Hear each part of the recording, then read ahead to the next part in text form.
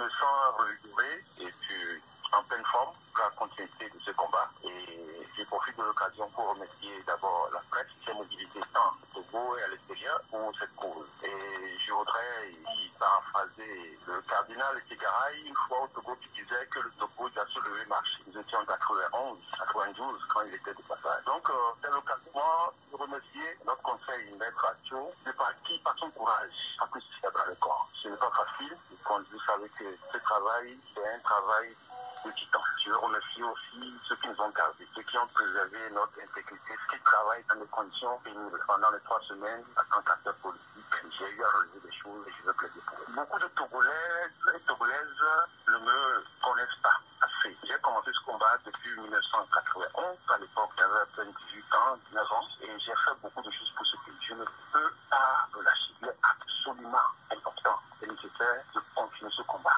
Ce pays nous appartient, c'est un